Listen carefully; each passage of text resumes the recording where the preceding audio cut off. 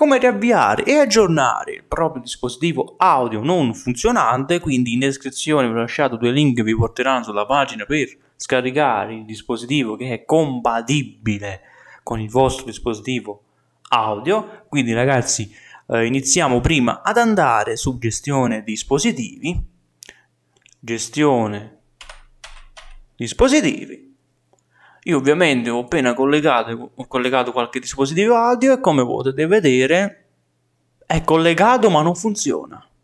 O c'è questo triangolo giallo oppure c'è questo pallino con una freccia in giù, significa che l'audio uh, ha bisogno di qualche aggiornamento oppure deve essere reinstallato oppure riavviato. Quindi se faccio su abilita il dispositivo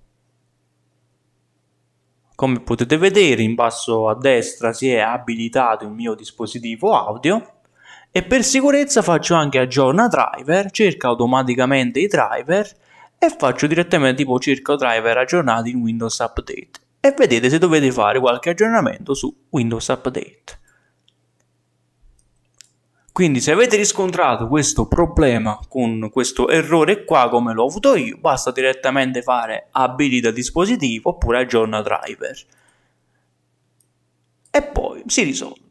Quindi spero tanto di esservi stato d'aiuto, di guardare le altre guide su come risolvere i problemi sull'audio, come in alto a destra usciranno un paio di guide, oppure alla fine del video. Quindi grazie a tutti per questa visione ragazzi, se vi è stato utilissimo vi consiglio di lasciare un like, iscrivervi al canale ed attivare la campanellina per non perdervi altri tutorial. Quindi ragazzi noi ci vediamo ad un prossimo tutorial, ciao!